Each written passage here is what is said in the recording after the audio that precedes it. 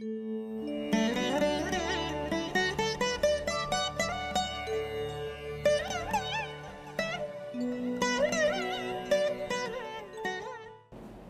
வெங்கட் ஒரு யூடியூப் நேயர். மைத்தி வெங்கட். குருஜி வணக்கம். சனி சுக்கிரன் சேர்க்கை நல்ல கணவன் அமைப்பு இல்லை என்று சொல்வது ராசி கட்டத்தில் எங்கிருந்தாலும் பொருந்துமா? சனி சுக்கிரன் சேர்க்கை நல்லதில்லைன்னு நான் சொல்லியிருக்கிறேன். அதை நீங்கள் குறிப்பிடுறீங்க. மைத்தி வெங்கட் சனி சுக்கிரன் சேர்க்கை நல்ல கணவன் அமைப்பு இல்லை என்று சொல்வது கட்டத்தில் எங்கிருந்தாலும் பொருந்துமா? நான் சிம்ம லக்கணம் ஐந்தில் சனி சுக்கிரன். பதினொன்றில் உள்ள குரு ஏழாம் பார்வையாக ஐந்தாம் வீட்டை பார்த்திருக்கிறார். அப்போ சனி சுக்கிரன் பார்வை உங்களுக்கு பார்த்திருக்கிறார். என் கணவர் சொக்க தங்கம் ம் ஹாட்ஸ் ஆத்மா வாழ்த்துக்கள்மா. No man hero take is ஒய்ஃப்னு சொல்லுவாங்க. ஒரு என்னுடைய கணவர் சொக்கத்தங்கன்னு சொல்கிறதுக்கே உங்களுக்கு ஒரு பெரிய மனசு வேணும். எந்த ஒரு மனிதனும் தன்னுடைய மனைவிக்கு மனைவிட நல்ல பேர் எடுக்க முடியாது அப்படின்றதான் பெரும்பாலும் ஒன்று ஏன்னா பெண்கள் எந்த ஒரு இதை பண்ணாலும் அதில் ஒரு குறை காண்பார்கள் அப்படிங்கிற அடைப்பில் எந்த ஒரு மனிதனும் தன்னுடைய மனைவியிடம் நல்ல பேர் எடுக்க முடியாதுன்ற இடத்துல என் கணவர் சொக்கத்தங்கம்னு மனசு விட்டு பாராட்டுறீங்க பாருங்க. மைத்தி வெங்கட். என் கணவர் சொக்கத்தங்கம் அவரும் சிம்ம லக்கணம். எனக்கு ஒழுக்கத்தை நல்ல புத்தியை மரியாதையை நல்ல பண்பை பேச்சை கடவுள் பக்தியை சொல்லிக்கொண்டே போகலாம் கற்றுக் கொடுத்தது என் கணவர் தான் உண்மையில் நான் ஒரு முன்கோபியாக பிடிவாத குணம் கொண்டவளாக இருந்தேன். என்னை முழுவதும் மாற்றியது என் கணவர் மட்டுமே. அவருடைய அன்பு மட்டுமே. நான் பூசம் அவர் கேட்டேன். வெரி குட் நல்ல நல்ல பாயிண்ட் குருஜி சனி சுக்கிரன் சேர்க்க நல்லது இல்லைன்னு எழுதுறீங்க. நல்லது இல்லைன்னு எழுதுனதுக்கப்புறம் எனக்கு சனி சுக்கிரன் சேர்க்க அஞ்சில் இருக்குது அப்போ எனக்கு நல்ல புருஷன். என்ன அர்த்தம்? என்ன எழுதுறீங்க பாருங்கள் சொக்க தங்கம் எனக்கு ஒழுக்கத்தை நல்ல புத்தியை மரியாதையை நல்ல பண்பை பேச்சை கடவுள் பக்தியை சொல்லிக்கொண்டே போகலாம். கற்றுக் கொடுத்தது என் கணவர் தான். இத்தனைக்கும் அருமையான கணவர் எனக்கு கிடைச்சிருக்கிறாரே. இந்த கேள்வியே வந்து ஏற்கனவே வந்து இப்போ தான் அந்த விளக்கங்களை சொல்லிக்கிட்டு இருக்கேன். மறுபடியும் அதே மாதிரி ஜோதிடமே சுற்றி சுற்றி சுற்றி அந்த சுபத்துவ பாவத்தில் தான் வந்துடும் நான் அது அதே தான் சொல்ல வேண்டி வரும். இந்த பாருங்கம்மா. விதிகளுக்கு விதிவிலக்கு இருக்குன்னு ஏற்கனவே சொல்லிட்டேன். சனி சுக்கிரன் சேர்க்கை நல்ல கணவன் அமைப்பு இல்லைன்னா அதை மாற்றக்கூடிய அமைப்பை நீங்களே சொல்லிட்டீங்க. இந்த குரு பதினொன்றாம் வீட்டில் என்னுடைய ஜாதகத்தில் சிம்ம லக்கணம் ஐந்தில் சனி சுக்கிரன் சேர்க்கை பதினொன்றில் குரு இருக்கிறார். இதை விட வேற என்ன பாயிண்ட் வேணும்? கத்துக்குட்டிக்கு கூட புரியும். சனி சுக்கிரன் பாவத்துவமாக இருக்கின்ற நிலைமையில நிச்சயமாக நல்ல கணவன் இல்லை. சனி சுக்கிரன் சுபத்துவமாக இருக்கின்ற நிலைமையில அருமையான கணவர் இதை நான் தானே சொல்கிறேன் இப்போ பாருங்க நீங்கள் அதை ஒத்துக்கிட்டு இருக்கிறீங்களே? சிம்ம லக்கணம். ஐந்தாம் வீடு யாருடைய வீடு? தனுசாகிய குருவின் வீடு. அந்த தனுசுநாதன் குரு எங்கே இருக்கிறார்? பதினொன்றிலிருந்து தன்னுடைய வீட்டை தானே பார்க்கிறார். அங்கே பதினொன்றில் அவர் பங்கமின்றி இருக்கிறார். அப்போ பங்கம் என்று குரு ராகு சேராமல் இருக்க இருக்கிற அமைப்பில் இந்த சனியையும் சுக்கிரனையும் சுப வீட்டில் உட்கார்ந்த குருவின் வீட்டில் உட்கார்ந்த சனியின் சுக்கிரனையும் குருவே பார்க்கிறார். அப்புறம் எப்படி நீங்கள் சொல்றதை விட இன்னும் ரெண்டு மடங்கு அவர் நல்ல கணவர்மா ஒரு கிரகம் ஒரு விதி சுபத்துவ பாபத்துவ அமைப்புகளுக்குள்ள வந்துடும் போது தானம்மா எல்லாமே புரியும்னு சொல்கிறேன் இந்த கேள்வியே தேவையில்லாத ஒரு கேள்வி தானே நான் தானே இந்த சுபத்துவ பாவத்துவ அமைப்போட சொல்லிடுறேன். நீங்களே கேட்டிருக்கிறீர்கள். சனி சுக்கிரன் சேர்ந்தா நல்ல புருஷன் இல்லை. எனக்கு அருமையான புருஷன். சிம்ம லக்கணம் அஞ்சுல சனி சுக்கரன் பதினொன்னுல குரு. அதைத்தானே நானும் சொல்லுகிறேன். இதே சனி சுக்கிரன் ஐந்தாம் வீடு சனியின் வீடாகி செவ்வாயின் வீடாகி ராகுவோடு தொடர்பு கொண்டு எதிர சனியே பார்த்து அப்படியே தலைகளை திருப்பிடுவோம். அஞ்சாவது வீடு சனியின் வீடாக வச்சுக்குவோம் கன்னியா லக்கணம். கன்னியா லக்கணம் கூட வேணாம். துலா லக்கணத்துக்கு வச்சுக்குவோம் துலா லக்கணம். அஞ்சில் சனி சுக்கரன்.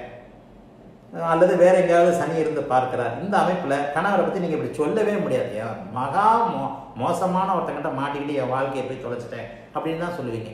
ஆக இந்த சுபத்துவ பாபத்துவ வலு அமைப்புகளை இப்பதான் அதை பற்றி சொல்லிக்கிட்டு இருக்கேன். சுபத்துவ பாபத்துவ அமைப்புகளை எப்போது புரிந்து கொள்கிறீர்களோ அப்போது இந்த கேள்விகளுக்கே இடமே இல்லை. நீங்களே கேள்வியும் சொல்லி நீங்களே பதிலும் சொல்லிட்டீங்க. ஐந்தாம் இடம் சிம்ம லக்கணம் அங்கே பங்கம் இல்லாத குரு. அப்ப அத்தனையும் ஒரு வீட்டோ அதிகாரத்தின் மூலமாக குரு தலைகீழாக மாற்றுவார் அப்படிங்கிற அடிப்படையில மைத்தி வெங்கட் நிச்சயமாக உங்களுக்கு உங்களுடைய நல்ல கணவர் தான் அவரு. நல்ல கணவர் கடைசி வரைக்கும். இந்த சனி சுக்கரன் உதாரணம் வந்து மிக மிக பிரமாதமா ம- மிக மிக பிரமாதமா அவங்க நல்ல அமைப்பு கொடுப்பார். ஏன்னா களத்துல காரகன் அவரே. சனி வந்து ஏழாம் அதிபதி அவரே. நல்லா பாயிண்டா புரியுங்க. இப்போ பாருங்க. ரெண்டாவது இன்னொன்று சொல்கிறேன் பாருங்க. இந்த தகப்பனை இழந்த அமைப்பில் ஒன்று சொன்னேன்ல. எல்லா அமைப்புகளும் கெட்டு போகும்போது அங்கே அந்த அந்த நபர் இல்லை. தகப்பன் இல்லைன்னு. சரி இப்போ உங்கள் ஜாதகத்தை எடுத்துக்குவோம். நீங்கள் சிம்ம லக்னம். உங்களுக்கு கணவனை கொடுக்கும் கிரகம் எது? சனி. கணவனை கொடுக்குற காரக கிரகம் எது? சுக்கரன். அப்போ அந்த ரெண்டு பேரும் ஒன்றா சேர்ந்துட்டாங்களா? அஞ்சாம் வீட்டில் அவர்கள் சுப வீட்டில் சுபரின் பார்வையில் இருக்கிறார்கள். மிக மிக சுபத்துவமாக இருக்கிறார்கள். கணவனை குறிக்கும் கிரகமான சனி சுபத்துவமாகி சுக்கிரனோடு சேர்ந்து குருவின் பார்வையில் தன்னுடைய மூன்றாம் பார்வையால் ஏழாம் வீட்டை பார்க்கிறார். இது குருவுக்கு நிகரான பார்வை. இங்கே இந்த சனி சனி பார்வை கெடுக்கும்னு சொல்ற அமைப்பு இருக்குல்ல? சில நேரங்களில் சனி பார்வை நல்லதுன்னு சொல்றேன்ல இந்த இடத்துல அது நல்லது. சனி வந்து ஒரு வடிக ஒரு இந்த கிரகம் ராகுவை போலவே பச்சோந்தி கிரகம். தன்னுடைய தீய கதிர்கள் அத்தனையும் வடிகட்டப்பட்டு தன்னுடைய சக்தி அனைத்தையும் இழந்து தன்னுடைய பாபத்துவம் அனைத்தையும் இழந்து குரு சுக்கிர தொடர்புகளை பெறும்போது அந்த சனி எங்கே இருக்கிறாரோ எங்கே பார்க்கிறாரோ பார்க்கும் இடங்கள் அத்தனையும் நல்ல பலனை செய்வார் இங்கே சனி பார்வை சர்வநாசம் என்ற விதி செல்லவே செல்லாது. ஜோதிடமே உள்ளுக்குள்ளேயே போய்க்கொண்டே இருக்கிறது தானே? அப்போ இந்த அமைப்பு பார்த்துட்டீங்களா சனி ஐந்தாம் இடத்தில் சு- சுக்கிரனோடு குருவின் பார்வையில் இருக்கிறார். தன்னுடைய மூன்றாம் பார்வையால் தன்னுடைய மூல திரிகோண வீடான ஏழாம் வீட்டையே பார்க்கிறார். நிச்சயமா உங்களுக்கு நல்ல கணவர் தான். நீங்க சொன்னதை விட மூன்று மடங்கு நல்ல கணவர். பாவத்துவ சுபத்துவ அமைப்புகளை புரிந்து கொள்ளும் போது இந்த நான் சொல்லுகின்ற விதியையும் விதி விலக்கையும் பொருத்தி வைத்து பார்க்கும்போது எல்லா விதமான பேசிக் அமைப்பு. ஆனால் என்னதான் இருந்தாலும் நான் மாஞ்சி மாஞ்சி மாஞ்சி தொண்டை தண்ணி நான் வந்து சொல்லி கொடுத்தாலும் உங்களுக்கு உங்களுடைய புரிந்து கொள்ளும் ஆற்றல் அறிவை பொறுத்துத்தான் ஜோதிடம் பிடிபடும். அதான் உண்மை. மோகன் பிரகாஷ். யூடியூப் நேயர் மோகன் பிரகாஷ். குருஜி உலகத்தை ஆள்பவர் ஜாதகம் எப்படி இருக்கும்? சுருக்கமாக கூட இதை விளக்கம் கொடுத்துட்டு இன்றைய லைவை முடிச்சுக்கலாம். குருஜி உலகத்தை ஆள்பவர் ஜாதகம் எப்படி இருக்கும்? உலகத்துக்கே அரசனுடைய ஜாதகம் எப்படி இருக்கும்? எல்லாமே சுபராகி சுபத்துவ சூட்சுமங்களோடு இருக்கும். ஆள வேண்டும் அதிகாரம் செய்ய வேண்டும் எல்லாம் கிடைக்க வேண்டும். என்ன நடக்கணும்? சூரியன் வலுவா இருக்கணும். சூரியனுக்கு அடுத்து சந்திரன் வலுவா இருக்கணும். அடிக்கடி சொல்றேன் சூரியனும் சந்திரனும் ஒளி கிரகங்கள் வலுவாக இருக்கின்ற நிலைமையில பிறந்தவன் உலகத்தை ஆழ்வான் மனதை ஆழ்வான் ஊரை ஆழ்வான் ஒரு துறையை ஆழ்வான் எல்லாத்தையும் ஆள்வான். உலகத்தையே ஆளணும்னா எல்லாமே பங்கம் இல்லாமல் இருக்கணும். உலகத்தை ஆண்டவன் யார்? அலெக்சாண்டர். அலெக்சாண்டர் ஜாதகம் கிடைச்சா கூட பார்க்கலாம் தான். ஒரு அன்றைக்கு இருந்த உலகம் சரி அந்த காலத்தில் இருந்த ராஜாக்கள் உண்மையிலேயே அதிகாரம் செலுத்தியவர்கள். இன்றைக்கு அமெரிக்க ஜனாதிபதி ரஷ்ய ஜனாதிபதியோட பதவி வந்து உலகத்திற்கு இதா உலகத்தையே ஆளுகின்ற ஒரு சரிக்கு ஒரு சராச ஒரு சரியான அமைப்பாக வேற சொல்லப்படுகிறது. இந்த மாதிரி ஆழ்வோரின் ஜாதகங்களை பார்த்தீங்கன்னா சூரியனும் சந்திரனும் பௌர்ணமி நிலைக்கு அருகில் இருப்பாங்க. சூரியன் சந்திரன் தங்களுக்குள் கேந்திரங்களாகவும் ஜாதகத்தில் கேந்திரங்களாகவும் இருப்பாங்க. சில நேரங்களில் சூரியனும் ராகு ஒரு மாதிரியான விள டிகிரி அமைப்பில் இருப்பாங்க. அது ஒரு பெரிய அமைப்பு. ஜோதிடமே வந்து விதி விதி விலக்கு விதி விதி விலக்கு இந்த நீசபங்க ராஜயோக தத்துவம் மாதிரி ஒரு கிரகம் வந்து நீசமாயிடுச்சு. நீசமாயிட்டா பெரிய மைனஸ் அதே நீசபங்கம் ஆயிட்டா பெரிய உயரம். கிரகம் சூரியன் ராகோட சேரக்கூடாது. அதே அதே சூரியன் ராகோட சேர்ந்தா அதிகாரத்தை கொடுப்பார். எப்படி எந்த இடத்துல சேரணும் அப்படின்றது தான் மிக மிக முக்கியம். ஆக உலகத்தை ஆள்பவர் ஜாதகம் எப்படி இருக்கும்? பஞ்சமாபுஷ யோகங்களில் ஏதாவது ஒன்று கண்டிப்பாக இருக்கும். பஞ்சமாபுஷ யோகங்களில் சுபத்துவ யோகங்கள் கண்டிப்பாக இருக்கும். அதுக்கு என்ன அர்த்தம்? அந்த பஞ்சபூத கிரகங்கள் வலுவாக இருக்கும். மொத்தம் ஒன்பது கிரகம் தான். ரெண்டு ஒளி கிரகம் அஞ்சு பஞ்சபூத கிரகம் ரெண்டு ஷேடோ கிரகம் நிழல் கிரகம் சாயா கிரகங்கள். அதாவது ஒளி கிரகங்கள் கிரக நவ கிரகங்களும் மூன்று விதமாக பிரிக்கப்படுகின்றன. ஒளி கிரகங்கள் பஞ்சபூத கிரகங்கள் நிழல் கிரகங்கள். இந்த ஒளி கிரகங்கள்ன்றது சூரியனும் சந்திரனும். மூல ஒளி கிரகங்கள். சூரியனே அனைத்துக்கும் த- த- அனைத்திற்கும் ஒளி தரக்கூடியவர். சூரியனின் ஒளியை வாங்கி பிரதிபலித்து ஒரு கண்ணாடியை போல ஒரு ஃபில்டரை போல செயல்படக்கூடியவர் நம்முடைய பக்கத்தில் இருக்கிற நிலவு எனும் சந்திரன் எனும் நம்முடைய மாதா காரகனாகிய சந்திரன் எனும் துணைக்கோள். ஆக ஒளி கிரகங்கள் வலு இது அதுக்கடுத்து ச- சனி அதுக்கடுத்து வந்துடுது சுக்கரன் புதன் சனி செவ்வாய். சுக்கிரன் ச- புதன் சனி செவ்வாய் இந்த அஞ்சு கிரகங்களும் பஞ்சா பஞ்ச குஜாதி ஐவர்னு சொல்கிறோம் இல்லையா? அந்த அஞ்சு கிரகங்களும் அடுத்து பின்னாடியே வந்துடும் கடைசியாக நிழல் கிரகங்கள்னு சொல்லப்படுகின்ற ராகு கேதுக்கள். இந்த ஒன்பது கிரகங்கள்லையும் ஒளி நிழல் ஒளிக்கு நேரெதிர் பஞ்சபூதம் மண்ணுக்கு இதுண்டு ஐந்து விதமான பிரிவுகள். இதில் வந்து உலகை ஆள்பவர் ஒரு துறையை ஆள்பவர். ஒரு நாட்டை ஆள்பவர் ஒரு மாநிலத்தை ஆள்பவர் எப்படி வந்துட்டாலும் சூரியன் சந்திரன் வலுத்திருக்கும். நிச்சயமாக அது இல்லாதவர் அதிகாரத்திற்கே லாயக் இல்லாதவர். அதிகாரத்திற்கே வர முடியாதவர்.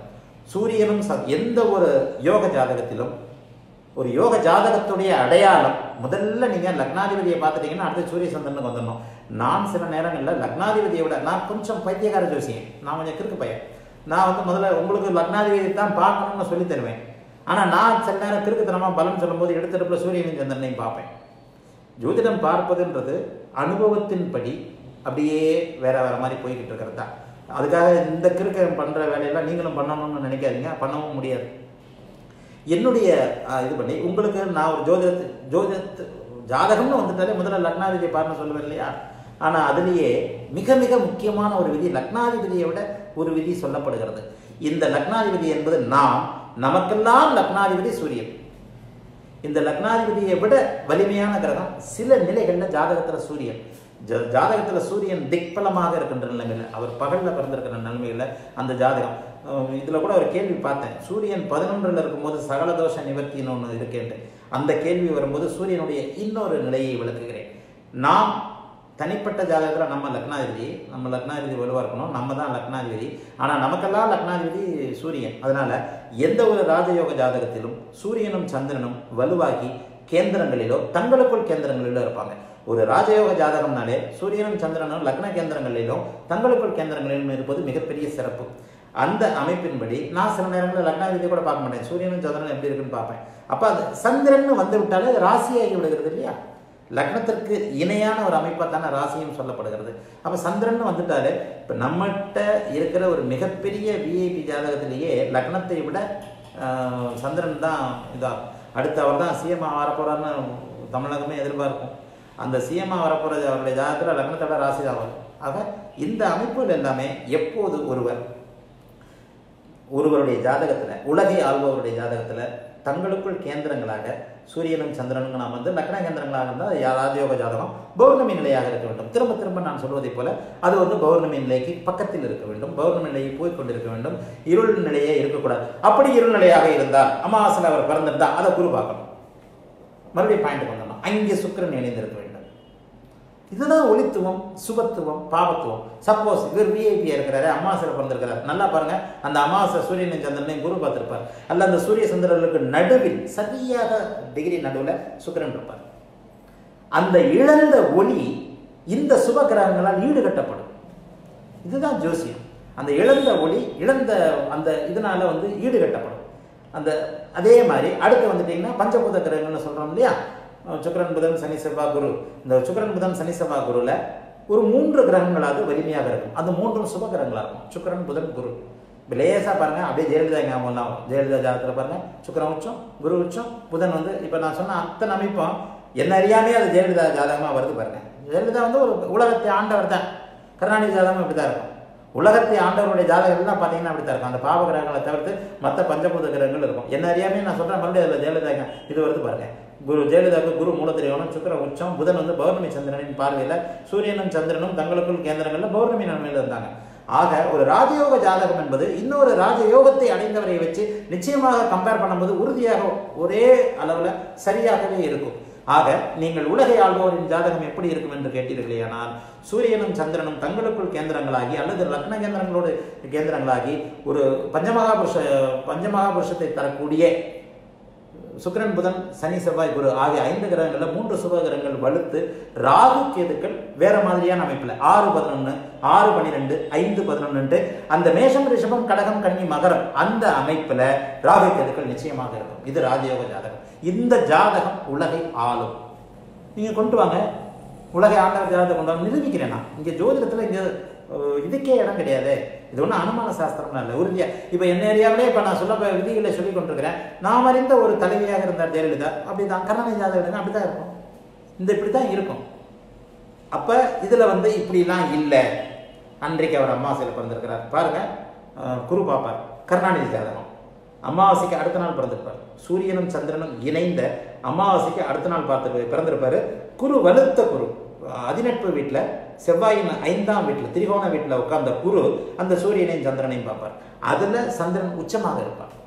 ஆக எல்லா நிலைகளிலும் விதியையும் விதிவிலக்கையும் பொருத்தி பார்க்கும்போது நாம் சொல்லுகின்ற சுபத்துவ சூட்சும வலு அமைப்புகள் மிகவும் வலிமையாக ரொம்ப நல்லா இருக்கும் இதோட கொஞ்சம் சரி இதோ இதோட வந்து இந்த- இன்றைய லைவை முடிச்சுக்கலாம்னு நினைக்கிறேன். ஒரு மணி நேரம் ஆயிருக்கும்னு நினைக்கிறேன். நிச்சயமாக முடிச்சுக்கலாம். நான் சொல்லுகின்ற இந்த விதிகள் இன்றைக்கு ஒரு நாலு நாலு கேள்விக்கு பதில் சொன்னாலும் அதை கொஞ்சம் நிறைவாக சொன்னேன். திருப்தியாக இருக்கும்னு நினைக்கிறேன். வணக்கம்.